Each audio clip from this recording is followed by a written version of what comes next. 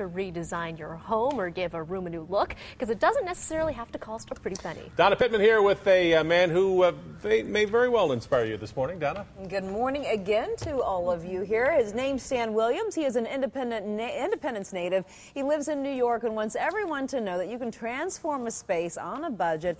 It's all about the find.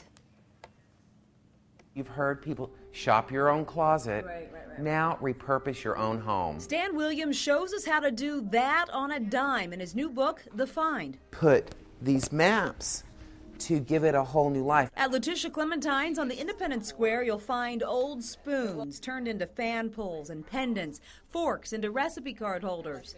Well, you know, there's a new word, sustainability. That's exactly what we do. We've just not throwing things away. We're a kind of Depression era thing. Exactly what Williams Hardback is about. Now is the time to think about reusing and repurposing. You know, we're probably not buying a new home and doing a whole new, uh, uh, new redo on it, and, but that's not such a bad thing. Um, I always tell people to look in their homes and see what they already have move their furniture around, see if it might work in a different room. Take a piece of outdoor furniture, try it indoors, do the same thing, vice versa.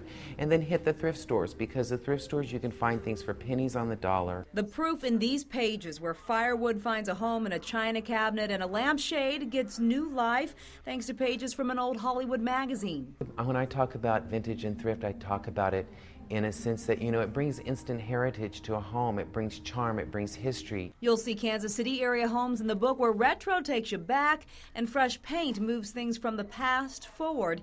One of Williams' favorites, the work of a California friend. She bought these That's chairs for next yeah. to nothing.